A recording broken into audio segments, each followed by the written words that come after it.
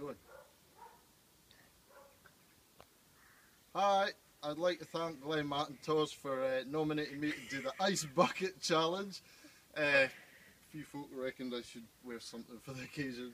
So, anyway, I would like to nominate Squirrel, aka Alicia Wiseman, also Dave McDonald, Grant Brown, Sam uh, Crowley,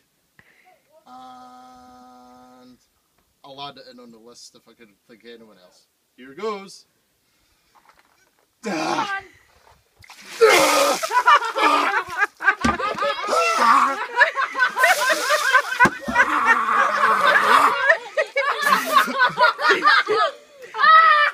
I'll do it.